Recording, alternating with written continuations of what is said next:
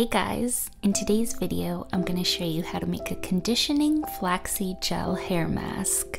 This is one of my favorite hair treatments to do. Flax seeds are rich in omega-3 fatty acids, vitamin E, and magnesium, and this hair mask will add shine, it detangles, it reduces frizz, it leaves your hair feeling super soft, and it also helps promote new hair growth. And the best part is, it's incredibly easy to make. All you need is flax seeds and water.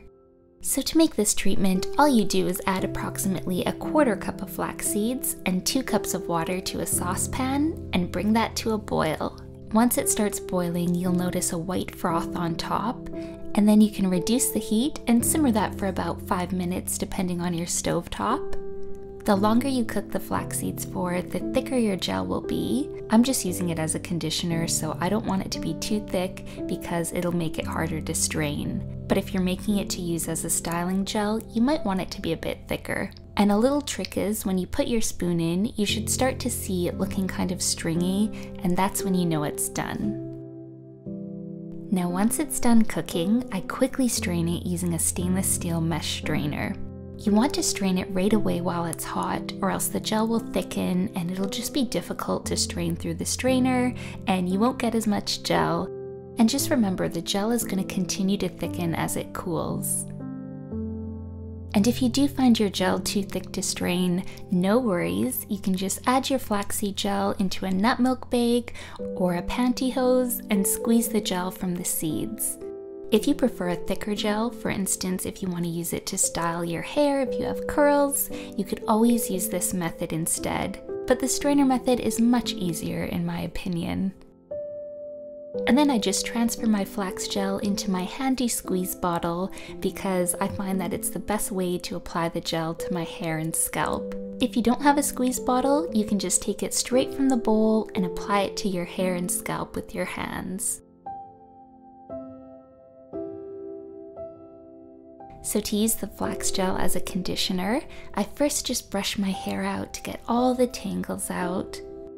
I like to apply it to dry hair and I just put it all over my scalp and hair.